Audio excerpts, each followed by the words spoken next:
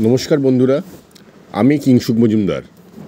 আজ আমি আপনাদের কাছে নিয়ে এসেছি প্রখ্যাত কবি শ্রী অনাদিরঞ্জন বিশ্বাসের লেখা প্রথম কাব্যগ্রন্থ মৈত্রীদিনের ঝরাপাতা বইটির পাঠক প্রতিক্রিয়া আমি আজ আপনাদেরকে এই বইটি থেকে দুটি কবিতা পড়ে শোনাব।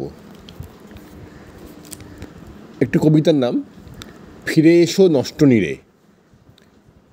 যাবার বেলায় শেষবার রেখে যেতে চেয়েছিলে অন্তিম স্বাক্ষর, করুণ মিনতি ভরা চোখে।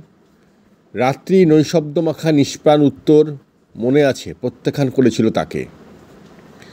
নীরবে আনত মুখে চলে গেছো সেদিন, অনন্ত রাত্রি থেকে আমার জীবন পটে, ঢেলে দিয়ে গেছো এই একরাশ কালো অন্ধকার।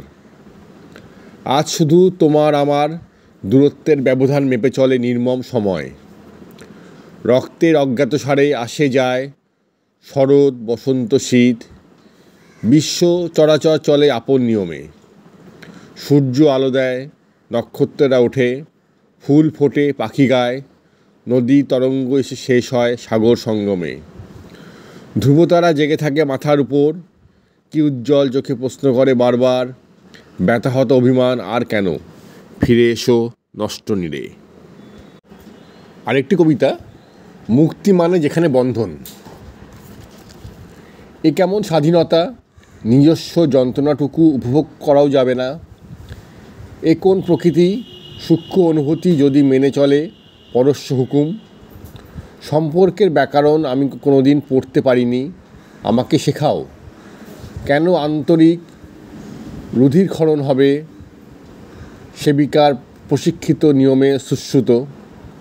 আমার যন্ত্রণা কেন হবে না আমার একান্ত আপন? এ কেমন প্রেমের মুক্তি মুক্তি মানে যেখানে বন্ধন? কাব্যগ্রন্থটির সবকটি কবিতাই বড় মন ছুঁয়ে যায়, প্রতিটি কবিতাই স্বকীয়তায় ভরা। বন্ধুরা, যে পর্যন্তই, আমি আগামীকাল আসব আবার অন্য কোনো একটি বই পাঠ্যপ্রতিক্রিয়া নিয়ে। ভালো থাকবেন সবাই, নমস্কার।